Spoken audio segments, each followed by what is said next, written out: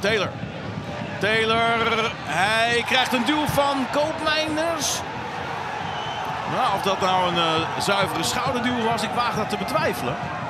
Daar spelen ze toch even met vuur en dus zegt uh, Nijhuis, wacht maar even. Het is, uh, zegt Taylor, in mijn rug. Dat idee had ik in eerste instantie ook.